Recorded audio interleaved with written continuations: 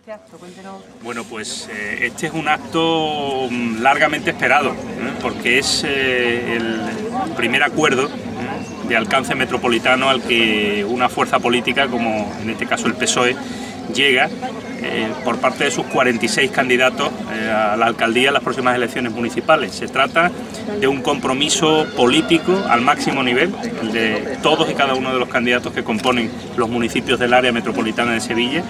para eh, poner en común, para compartir un proyecto eh, económico, estratégico para el área metropolitana de Sevilla. Muchas veces se ha hablado sobre la voluntad política de los eh, ayuntamientos, de los principales ayuntamientos, del Ayuntamiento de Sevilla Capital, de los ayuntamientos más importantes del área metropolitana, de la voluntad política en este caso para alcanzar un acuerdo que permitiera, en este caso, constituir, consolidar el hecho metropolitano y siempre se ha dicho que sin ese eh, primer elemento, sin esa voluntad política, efectivamente no era posible avanzar. Se han hecho avances en materia de, servicios, determinados servicios en relación con los residuos, con el agua, con el transporte, pero no se había llegado a un acuerdo de alcance global. Eh, efectivamente, efectivamente faltaba esa voluntad política, pero faltaba también el escenario, la coyuntura que a veces eh, desde el punto de vista político, desde el punto de vista socioeconómico se tiene que dar para que eh, un hecho, un acuerdo de esta naturaleza se produzca. Y en este sentido hoy es un día de satisfacción porque es un día de compromiso político con los ciudadanos además de los proyectos que cada uno de estos municipios va a desarrollar y va a presentar en los próximos días a sus ciudadanos, a los ciudadanos de, de su pueblo, de su ciudad, los 46 candidatos socialistas que nos unimos hoy aquí, lo que vamos a identificar, lo que nos comprometemos por escrito a hacer, es un catálogo de 20 medidas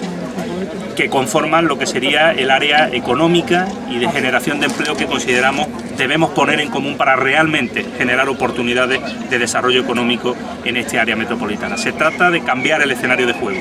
Se trata de que en vez de una estrategia individualizada y de competencia entre municipios para ver quién atrae aquella u otra inversión, aquel u otro eh, iniciativa económica, primero planifiquemos desde el punto de vista estratégico cuáles son los sectores productivos que queremos desarrollar en un área del territorio ya planificada, gracias al POTAUS, al Plan de la Aglomeración Urbana, que define 69 áreas de oportunidad en las cuales de manera preferente hay áreas de finalidad tecnológica, productiva, eh, turística o logística que son fundamentales para efectivamente salir de la crisis y desarrollar oportunidades económicas que de verdad generen empleo en cantidad y calidad suficiente como el que necesita el área metropolitana.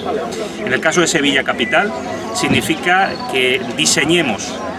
un proyecto económico no solo desde la concepción de 700.000 habitantes que tiene la ciudad, la capital, sino para 1.400.000 habitantes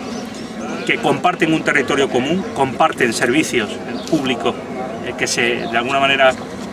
prestan de manera eh, coordinada, pero sobre todo nos daría la capacidad de poder salir al mercado con una marca única mucho más potente, con un equipo técnico y una estrategia, en este caso económica, común y sobre todo analizando el que las mejores oportunidades de atracción de inversión económica y de desarrollo de proyectos en sectores estratégicos, en sectores productivos, sean las que de alguna forma generen empleo para el conjunto de los municipios de la área metropolitana, independientemente de la que la inversión se produzca en un municipio u otro. Ese es, eh, a todas luces,